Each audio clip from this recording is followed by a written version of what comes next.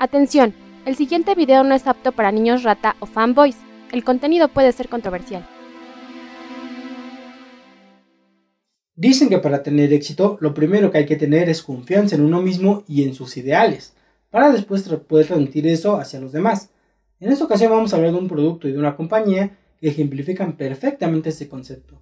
La compañía es LG y el producto es el LG G Flex de segunda generación, presentado el día de ayer en el CES de Las Vegas.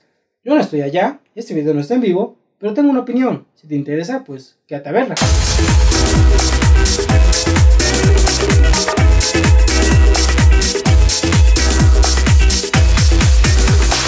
Espero que hayas tomado en cuenta la advertencia que pongo al principio de este tipo de videos. Si la pongo es por algo. Voy a empezar diciendo que lo primero que yo pensé cuando vi el primer LG G Flex hace un año y cachito, mis primeras impresiones fueron ¿Qué carajo tiene el G en la cabeza? ¿Por qué sacan a la venta un producto tan estúpido que nadie va a comprar? El mercado no está pidiendo pantallas flexibles. Yo no veo a nadie que diga, oh carajo, ¿cómo no tengo una pantalla flexible en mi teléfono? Eso me serviría mucho. Oh, pagaría por una pantalla flexible. No, nadie estaba diciendo eso. Era una idea estúpida, era un concepto tonto. Y yo dije, LG, ¿qué son ustedes? ¿Son retrasados o qué carajo son? ¿Por qué sacan a la venta esto? Nada más para demostrar que tienen dinero, para demostrar que pueden sacar cualquier porquería a la venta y que la gente, aunque no la compre, ustedes no se van a ir a la bancarrota. Tan desesperados están de imitar a Samsung. Ustedes siempre han copiado a Samsung. Ahora quieren ser Samsung de que también ellos sacan muchos productos basura, horribles, que la gente luego ni compra y que aún así Samsung sigue vendiendo y vendiendo y vendiendo y haciendo dinero, todo el dinero del mundo. Samsung puede sacar mañana un teléfono redondo, todo feo, nadie lo va a comprar y no van a cambiar en nada, van a seguir siendo una compañía poderosa, un titán de ventas. ¿Eso quieres demostrar, LG? ¿Que tú también puedes serlo? ¿Que tú también tienes el dinero y las bolas para hacerlo? Esas fueron mis primeras impresiones cuando vi el LG G Flex de primera generación. Y ahora que veo que sacaban una segunda generación, ahora yo me pongo a pensar, carajo, a lo mejor el estúpido soy yo a lo mejor realmente si LG tiene dinero para invertir en este tipo de cosas, a lo mejor la gente sí, sí le gustó la primera generación. Pese a que no vendió mucho, a lo mejor los pocos usuarios que sí lo compraron dijeron, wow, sí me cambió la forma de usar los smartphones. A mí ya me está haciendo dudar que quizás sí es una buena idea, que quizás el tener la, la pantalla curva sí te aporta algo que es algo que el usuario va a notar, que sí le va a cambiar la manera de usar su teléfono. A lo mejor la pantalla curva sí te sirve bien para hablar por teléfono cómodamente, para ver tus películas de manera inmersiva, para jugar durante horas sin que se te cansen tanto las manos, para chatear cómodamente, para llevarlo en tu bolsillo sin preocuparte porque te vas a sentar sobre él y lo vas a romper a lo mejor sí es algo interesante. La verdad es que esta presentación del teléfono sí me ha cambiado un poco la manera de pensar. Sigo creyendo que es una mala idea, y desde luego no me la compraría. Pero entiendo que muchos usuarios que estaban indecisos, tenían la curiosidad, sí los va a animar a comprarlo, porque no solamente es un teléfono con pantalla curva, sino es un verdadero gama alta que está a la altura de todos. Hablar de especificaciones actualmente es aburrido.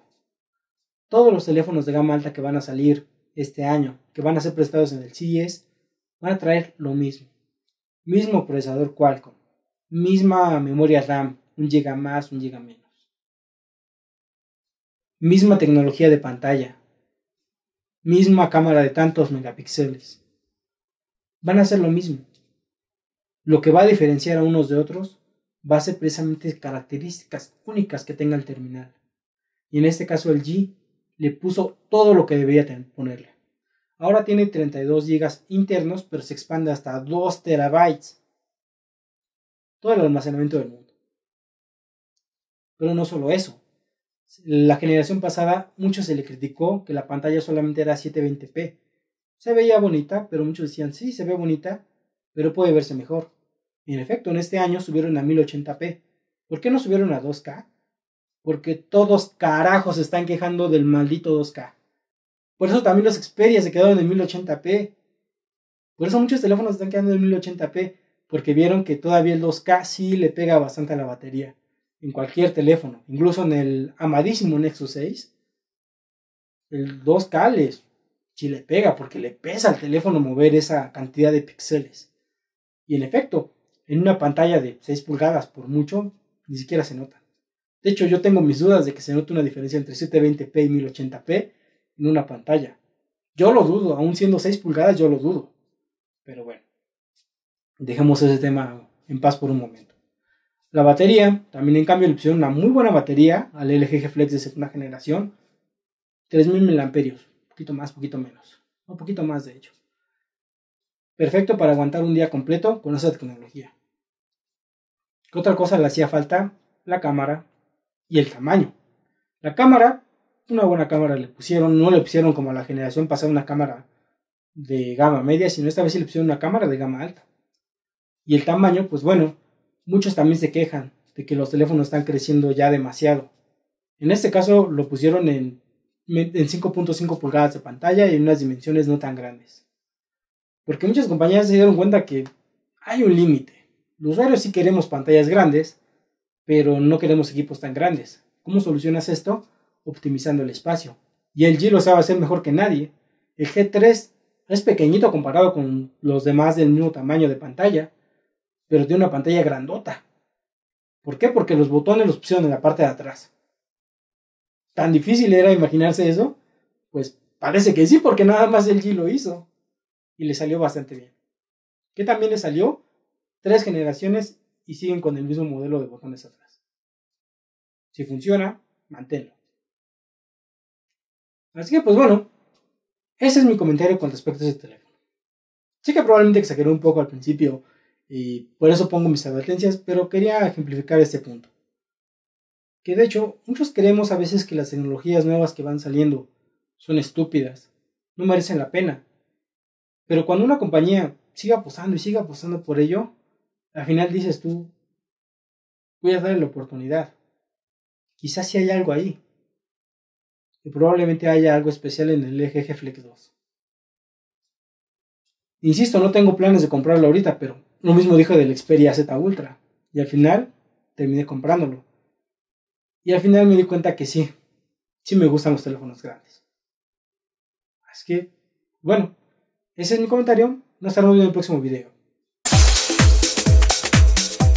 No te pierdas los próximos videos, agrégame a tus redes sociales y suscríbete a este canal.